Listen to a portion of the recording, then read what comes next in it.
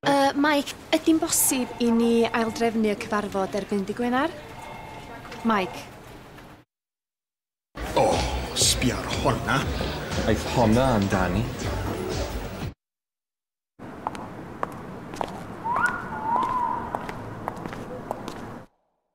Dyw yn ddim i chi, ond un ar ôl y llall, mae'n ormod.